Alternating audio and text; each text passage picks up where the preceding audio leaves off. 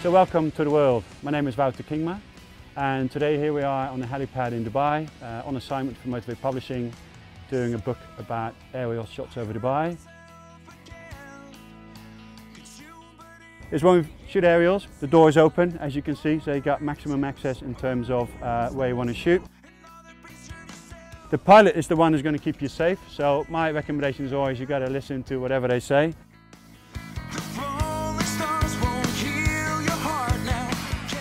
You communicate with the pilot once you're in the open air is, uh, is with headsets and a microphone. Uh, what you notice is once you're airborne, it's just the propellers are going, there's lots of noise. So the only way to talk among myself, the pilot, uh, the producer or the assistant is by headphone.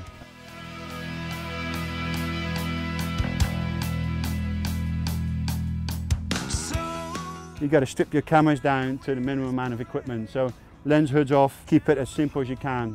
Because uh, it can, once you're up in air, it can get pretty wild up there, pretty noisy, pretty windy. I'm wearing a climbing harness, a two point harness. So, so you've got to be attached inside a helicopter at two points. All my gear is individually attached as well. So I've attached the lens to the body and then the strap is individually attached straight through to the with carabiners straight onto a daisy chain which is hooked on to the safety hooks here.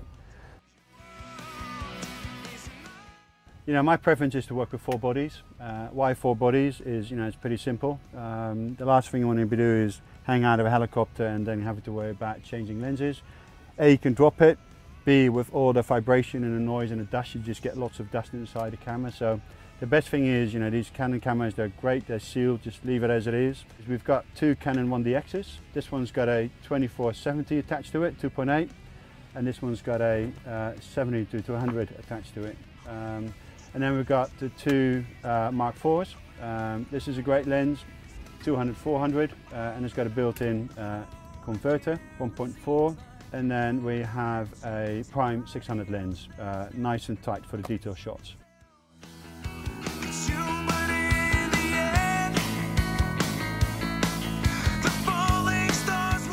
I shoot everything raw mode, very simple, to give you the maximum capability on, on retouching.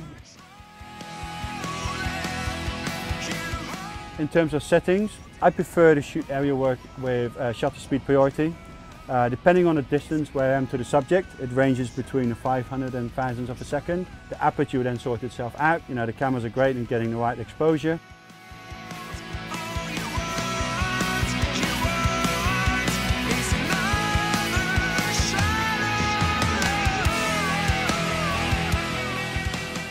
I'm a big fan of, uh, of SanDisk. So I shoot with a 64 gig and 32 gig Extreme Pros because they're reliable and they're fast.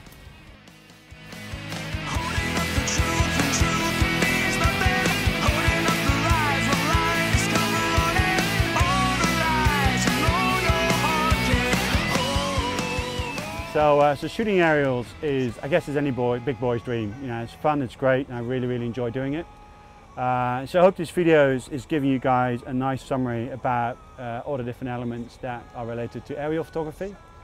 Um, I run a blog which is wouterkingma.com slash blog uh, which is going to have lots of write-ups about all the stuff I do.